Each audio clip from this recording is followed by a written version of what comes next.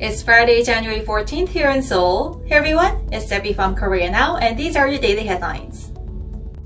North Korea warned of a stronger reaction after the US slapped new sanctions on the regime following its latest missile launches.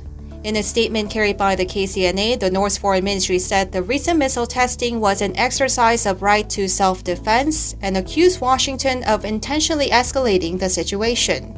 This came after the U.S. imposed new sanctions on six North Koreans involved in the regime's weapons program on Wednesday, after Pyongyang conducted two missile tests in less than a week. U.S. Secretary of State Tony Blinken said North Korea might be trying to get attention through the missile launches, but they're still in violation of multiple UN sanctions. He went on to say the US and its allies are focused on making sure there will be repercussions and consequences for these actions by North Korea. A plane carrying dozens of South Koreans returned home from Kazakhstan, which has been gripped by violent political turmoil. The Asiana Airlines flight touched down at the Incheon International Airport on Thursday night, carrying 43 South Koreans and 4 Kazakh nationals. The plane had been stranded in the Kazakh capital since it landed there on January 5th when protesters took control of its main gateway. The Almaty airport resumed normal operations on the 13th.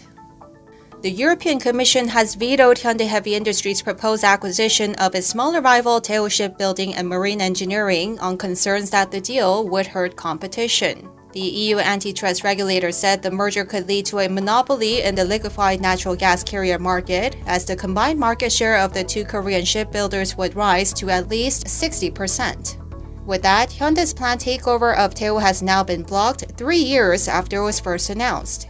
The South Korean government said it regretted the EU decision and that it will continue efforts to up the competitiveness of domestic shipbuilding industry and help normalize Daewoo shipbuilding. And those are your top stories. For full length articles, you can go to our official website, link down below. As always, make sure to subscribe to Korea Now for more daily updates.